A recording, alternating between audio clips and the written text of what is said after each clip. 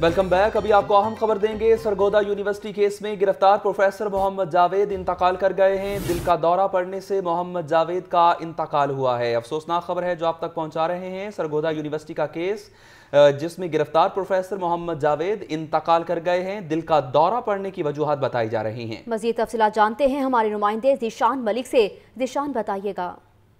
ہاں جی بالکل۔ پروفیسر محمد جاوید، جو کہ کیمپ جیل میں انہیں منتقل کیا گیا تھا، نیب کی جانب سے انہیں گرفتار کیا گیا تھا سرگودا یونیورسٹی کے کیس میں، جہاں دل کا دورہ پڑنے سے انتقال کر گئے ہیں۔ جیل حکام کے مطابق ان کی اچانک موت واقع ہوئی ہے۔